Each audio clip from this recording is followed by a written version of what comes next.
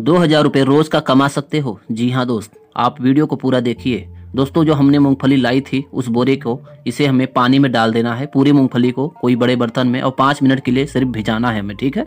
पाँच मिनट के भिगोने के बाद हमें फिर से निकाल लेना है एक कपड़े में, इस बर्तन में। और उसमें दोस्तों एक किलो नमक हमें ऐड करना है और नमक डालकर उसका मिश्रण करना है। मिश्रण करने के बाद हमें बोरे में भर के फिर से रख लेना है एक रात के लिए, ठीक है? आइए चने के बारे में जान लेते हैं। चने का प्रक्रिया किस तरह से है दोस्तों? हमें 250 ग्राम हल्दी लेना है और उसमें आधा किलो नमक ऐड करना है। और जरा सा पानी डाल के उसका घोल हमें बना लेना है।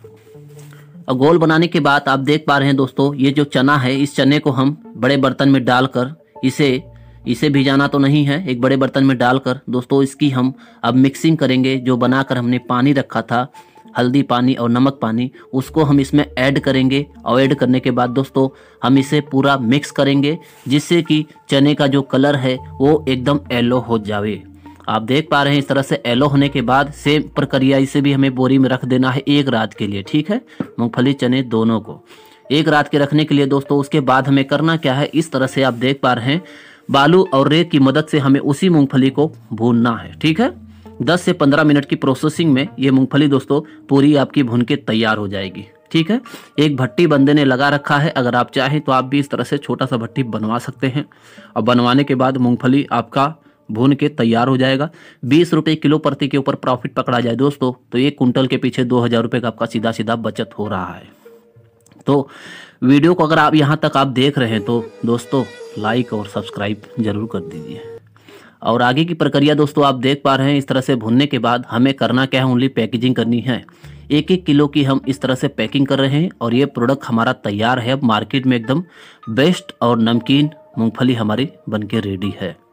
इसी सेम प्रक्रिया से दोस्तों आपको भी कर लेना है वीडियो के माध्यम से। अगर इस काम को शुरू करना चाहते हैं तो घर से ही आप स्टार्ट कर सकते हैं। और प्रॉफिट इसमें दोस्तों आपको तो पता ही है, ये सब बिज़नेस यूनिक है, क्योंकि ये मार्केट में हमेशा चलने वाला है, कभी भी डाउन नहीं होगा।